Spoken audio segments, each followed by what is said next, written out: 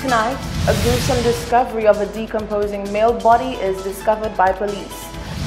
The aftermath of Operation Restore Confidence lingers while many continue to advocate for justice. Or whether the government would decide maybe later what we will do with, with those police officers. And a wave of youth votes is anticipated for the next general election.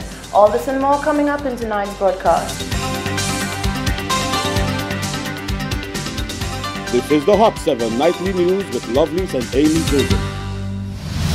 Good evening. It is Friday, the 20th of September 2019. Welcome to the Hot 7 Nightly News on Flow Channel 117, also being simulcast on Kiss FM. You can also watch us on our website at www.caribbeanhottv.com or on our Caribbean Hot FM mobile app. I'm Rochelle Gonzalez, standing in for lovely Saint Amy Joseph. Thank you for joining us. The Royal St. Lucia Police Force is investigating the circumstances surrounding the discovery of a badly decomposed body at Grace in Vieux Fort.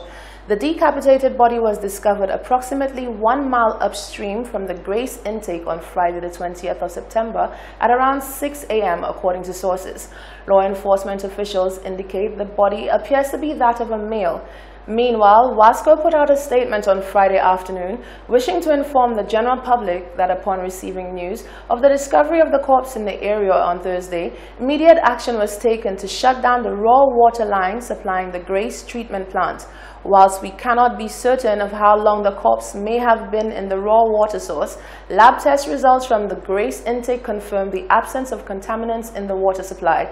There are no further details surrounding the death at this time. However, we will have more in a subsequent broadcast. In other news, Minister for National Security, Hermangild Francis, says a recent meeting held with police officers directly involved in Operation Restore Confidence sought to engage the men and women in dialogue to chart a path forward.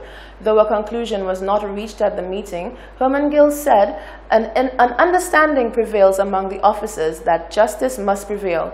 More in this report. The infamous Operation Restore Confidence, conducted in 2011, was carried out by the Royal St. Lucia Police Force to control a crime spree affecting the nation. Once completed, members of the force were under suspicion for carrying out extrajudicial killings. Under the Leahy Law, the U.S. restricted assistance to St. Lucian law enforcement. Fast forward to 2019, and still no prosecution has been made on the matter. Minister for National Security Hermangild Francis says the men involved have a full understanding that the scale of justice must be made even. All options are open, whether they wanted to retire or whether the government would decide maybe later what we will do with, with those police officers. But I felt it important that we speak to them and get a sense of, of what they, they wanted. Um, I, I didn't come to any conclusion, um, but I think they, they understood that, that justice must be, must be served. And, and not only just is served, but it must appear to have been solved. Um, so we're not going to rush into deciding what we're going to do. Um, the DPP's office has some assistance from my police officers. I have three police officers detached from the police force working directly with me and reporting to the DPP as to what is happening. If you remember the, um, the IMPACS report that was handed over to Dr. Kenny Anthony, we all realized that he made a mess of it to go on the news and, and, and, say all sorts of things, which really compromise everything. So we are actually having to start from scratch, doing investigations and so on. That is why I took the three police officers and attached them to me. So they're working, but they work um, in conjunction with the DPP, so that we started the process. If you notice that some police officers were brought in for questioning and so on. So the process is going on, and, and hopefully um, we will get a resolution soon. The lingering unsettled issues with the IMPACS report has left many officers advocating for swift justice, which they say can ultimately clear their name and allow them to move up the ranks. I said so very very early in my, in my tenure as, as the minister, I, I was chastised by some particular caller to Newsbeat that I heard is I was saying that the guys want to, need to get promoted and so on. But at the end of the day, the guys are human beings. They, they, they went through a process. It wasn't on their own um, volition. They did it as police officers. Uh, but yet still persons died.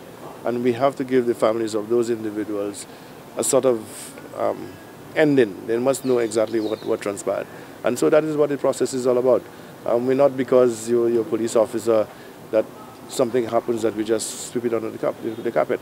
It has to be investigated and it has to be vent, um, ventilated properly in, in, in the public so that everybody is going to be satisfied with the end product. The U.S. alleges 11 extrajudicial killings were carried out by the Royal St. Lucia Police Force during the span of Operation Restore Confidence. Reporting for Hot 7 News, I am Solange Alfred. Members of the general public were called upon to sit in and be part of a regional security system panel discussion so that they could voice their concerns on matters of citizen security.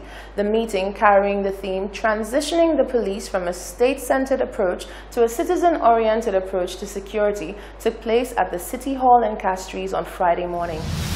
The RSS, in collaboration with the Department of Home Affairs and National Security, as well as the Royal. Lucia Police Force, jointly hosted the panel discussion on the topic Transitioning the Police from a State-Centered Approach to a Citizen-Oriented Approach to Security.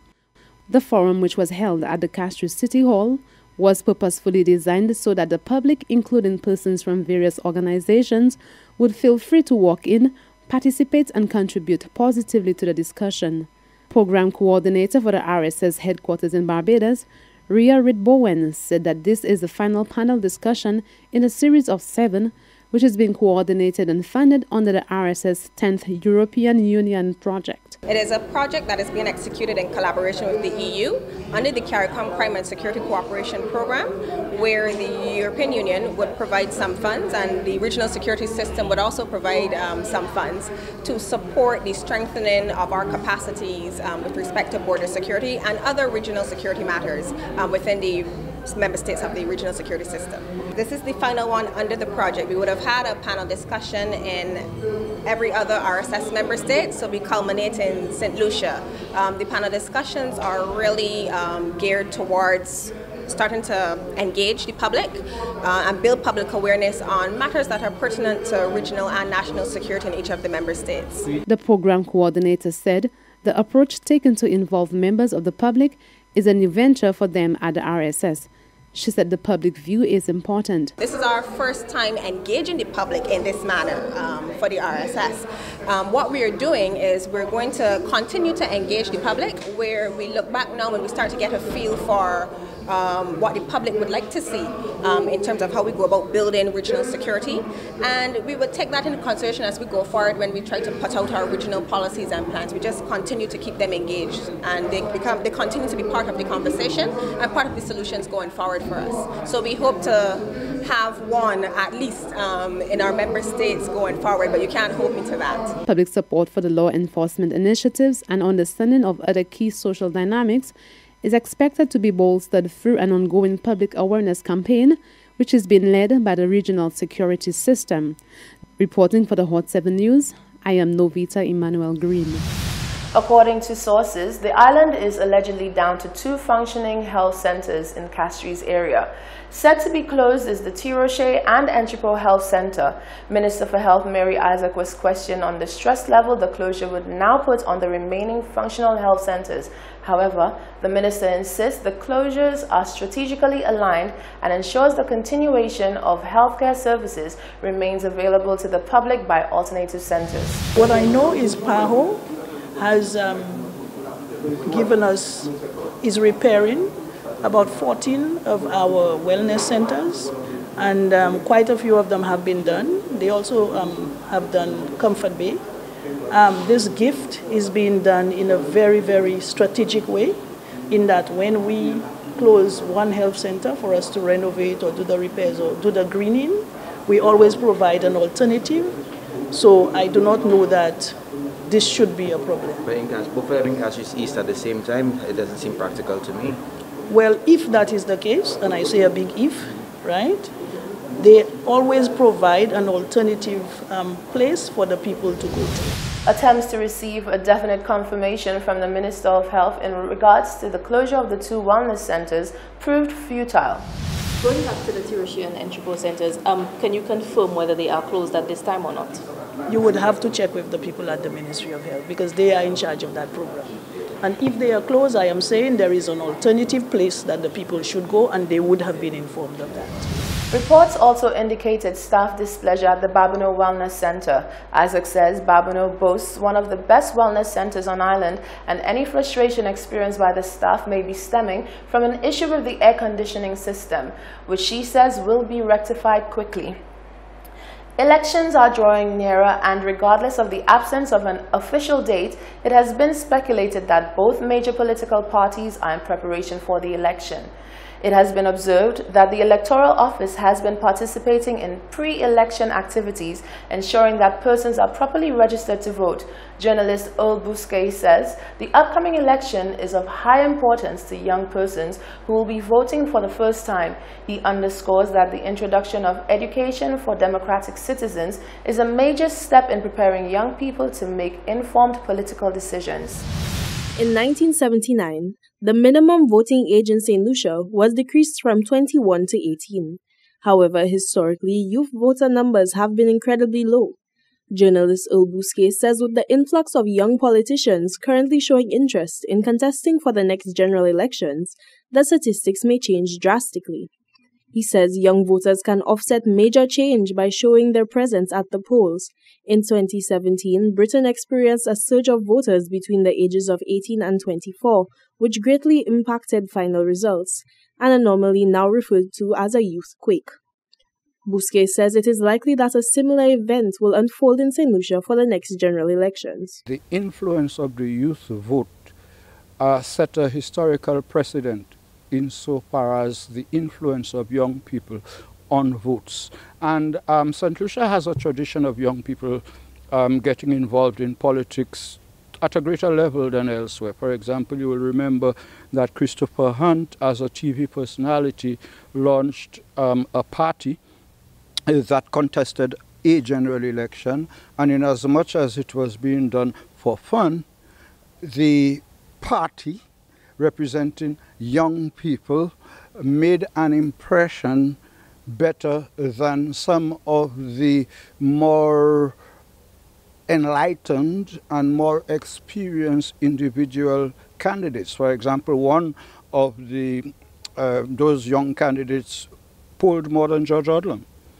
who had been in elections, you know, for many periods before that. I'm saying that there are a number of things that need to be done differently. Number one, the parties should both be looking at young people. Bousquet says both parties are guilty of preparing manifestos which amount to about a quarter page of youth involvement.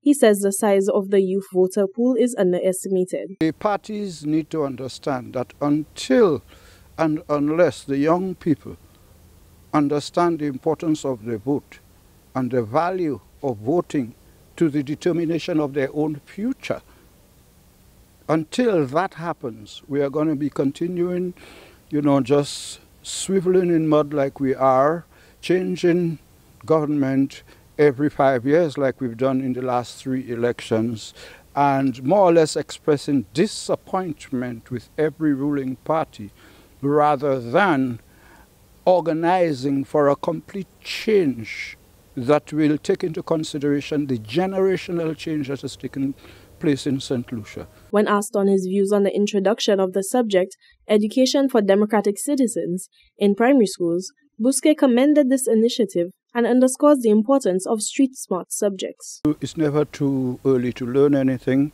Um, in all what's happening in Japan, the person who is proclaimed to be the leader of the violent protests and everything taking place in in in uh, Hong Kong, sorry, is a 22-year-old, Joshua Wong, been to jail a couple of times for protesting. I do not agree with how he and the people do their protests, but one of the things he has been able to do and they have been able to do is to galvanize and mobilize young people. You look at the demonstrations in Hong Kong and in most of those places, you see young people. So children learning. I learned how to cross the streets through a, a, subject called civics. I don't know if they still teach that at school, but that's how I learned to, to cross a pedestrian crossing. Um, these are you, you have to instill in the minds of young people the importance of election. Bousquet says youth need to understand their impact on society, not just in elections, but their conceptual power over the future policies and structure of governments to come. For Hot 7 News, I am Jacques Wooding. This is the Hot 7 TV nightly news. Still to come, viral sensation Charles is in the hot seat, talking relationships and commitment. Independent senator urges the powers that be to use the Bahamas as an example to beef up resilience and a memorandum of understanding with the University of the Virgin Islands to offer expertise and resources to Sir Arthur Lewis Community College.